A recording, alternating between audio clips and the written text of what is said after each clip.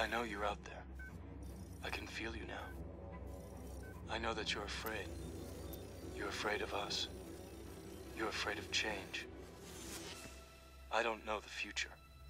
I didn't come here to tell you how this is going to end. I came here to tell you how it's going to begin.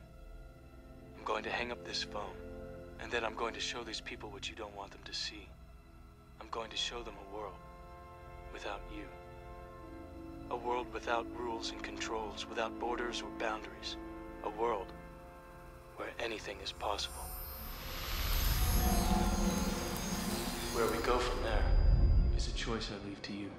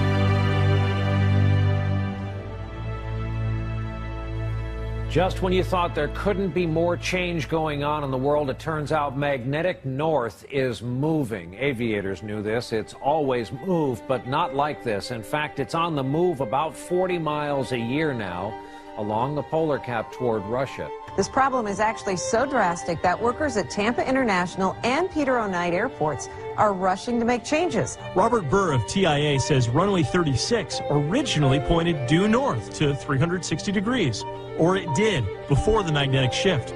Now it points just right at 10 degrees north. The last shift was over 700,000 years ago, leaving some to say we're due.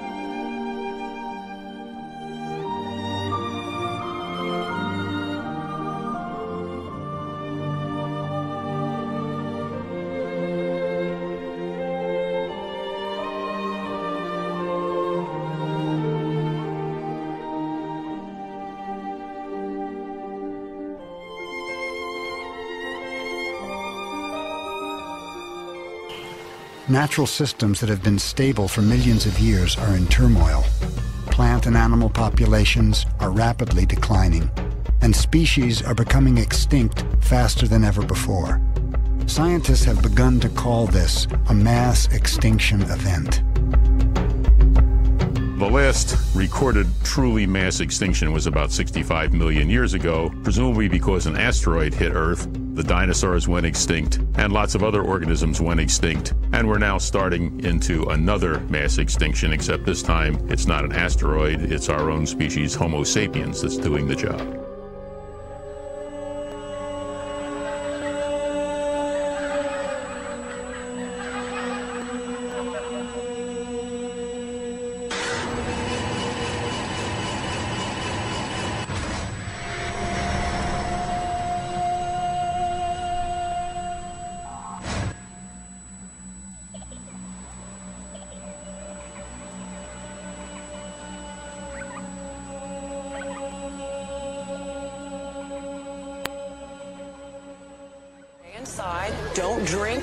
Or eat anything. Many of the themes that are promoted on the Fox News channel have to do with generating fear whether that's fear of immigration, a fear of sexual difference, a fear of racial difference. Even as Justice Department figures show that violent crime has dropped to a remarkable 30 year low, polls have consistently shown that most Americans believe just the opposite to be true. I've been through Y2K and I've been through 9 11. I have never seen people so afraid. The logical question is why? Well, surveys consistently show that upwards of two thirds of the people who believe crime to be a very serious personal problem say they get most of their news from television. It's a special two hour block. War is my last choice, but the risk of doing nothing is even a worse option as far as I'm concerned. Dealing with Iraq, the president's war on terror. When will his military plans get put into action? We hope you depend on us for the truth because we're going to report the situation in Iraq without an agenda or any ideological prejudice. The attack came late last night. Police called out to Kurt Westergaard's heavily guarded home after a young Somali man armed with an axe and a knife tried to break into his house, threatening to kill him. According to the Danish security services, the 28-year-old Somali has links to Al-Qaeda and the radical Al-Shabaab organization. Saddam, Saddam, Saddam, Saddam, Saddam, Saddam, Saddam, Saddam, Saddam Hussein. War and danger. Continuing danger. Hour of danger. Very, very dangerous world. A grave new threat. Horrific acts of atrocities. Murderous regimes dedicating to killing us. Tyranny and terror. Slaughtered thousands. Weapons of mass destruction. Weapons of mass destruction. Weapons programs. The deadliest of weapons. Terrible weapons. Nuclear weapons. Nuclear weapons. Poison gas. Torture chambers.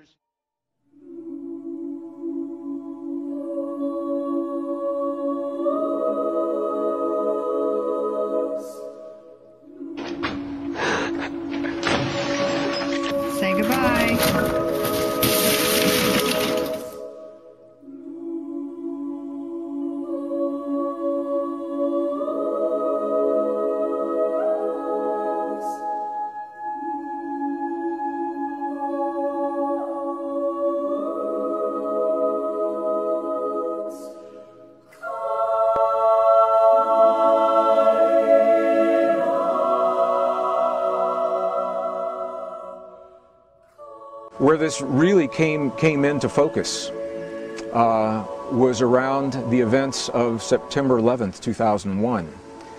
Uh, it was during that time that the United States has, uh, has two satellites. They're called the GOES, G-O-E-S, Geosynchronous Environmental Satellites, I believe is what they're called.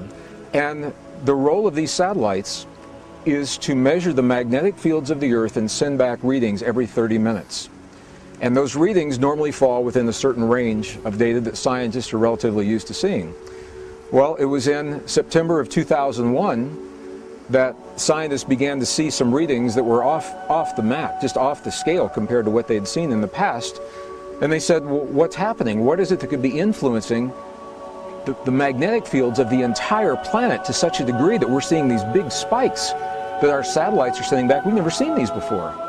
They overlaid the data from the satellites onto a calendar of months and days, and lo and behold, what they found is that the spike was occurring precisely during the time of September 11th, 2001, and even more precisely, that the first spike occurred 15 minutes after the first plane hit the first tower in the World Trade Center.